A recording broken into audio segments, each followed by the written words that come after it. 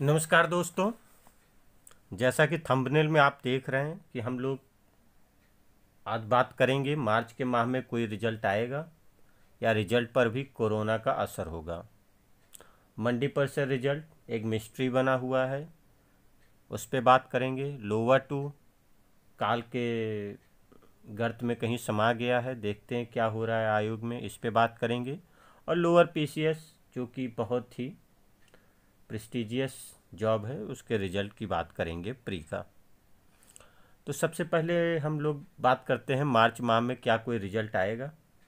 तो देखिए, हमारी जानकारी के अनुसार मार्च महीने में कोई रिज़ल्ट आने वाला नहीं है।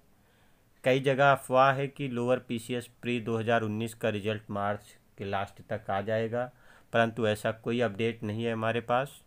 अब हो सकता है हमारा अपडेट गलत हो, लेकिन जो जानकारी है वो आपको दे रहा हूँ। तो दोस्तों, मंडी की बात करें तो मंडी का रिज़ल्ट आपका मार्च के अप्रैल में भी आने का कोई चांस नहीं है। तो मंडी वाले कृपया अप्रैल के बाद ही सोचें, अप्रैल तक भूल जाएँ।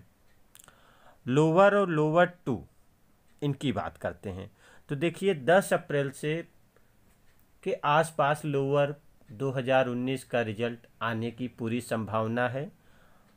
और पंद्रह अप्रैल तक पक्का आ जाएगा। अगर दस अप्रैल के आसपास नहीं आता तो पंद्रह तक ये पक्का आ जाएगा।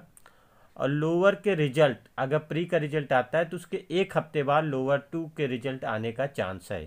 थोड़ा टेक्निकल इसमें फंसा हुआ है, लेकिन आयोग अब थोड़ा सा लीनियंट हो रहा है, उसको शायद कॉमन कट ऑफ़ दे के जारी कर दे। तो लोअर प्री का रिज़ल्ट आपका 10 से 15 अप्रैल तक आ जाएगा लोअर टू का उसके एक हफ़्ते बाद आने का चांस है। धन्यवाद। चैनल को सब्सक्राइब कर लें। एनी फर्दर अपडेट के लिए। धन्यवाद। नमस्कार।